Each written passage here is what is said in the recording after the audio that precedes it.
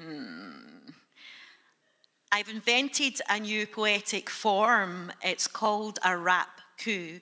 It's a rap with a haiku in it. I cannot rap, I cannot count, I just made it up. It's experimental poetry about the mass eradication of slugs. Standing outside just smoking a fag, cold and damp by the pale moonlight. Then I look up to the constellations, then I look down to an awful sight. Slugs, slugs. Frustration, salt, salt. Disintegration, time for Slugmageddon.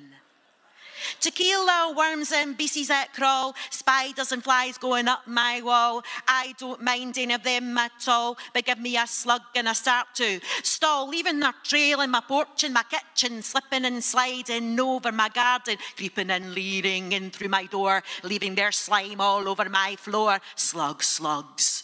Frustration, salt, salt, disintegration, time for slug Slugmageddon. Blue pellets birds and dogs, nothing works, even slug pubs. It's two inches long and it lives in my rockery, hiding away in a cave in its own, getting fat by cannibalisation, the sawney bean of the slug generation. Slugs, slugs. Frustration, salt, salt, disintegration time for Slugmageddon.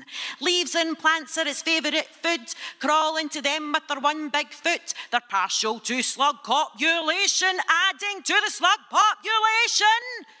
Slugs, slugs, frustration, salt, salt, disintegration time for Slugmageddon. It's Friday night and I'm getting excited, rolling around with my man in the rug. Oh my God, I was affronted when he produced his slug of love. Slugs, slugs, frustration, salt, salt, disintegration, time for Slugmageddon. Slugs.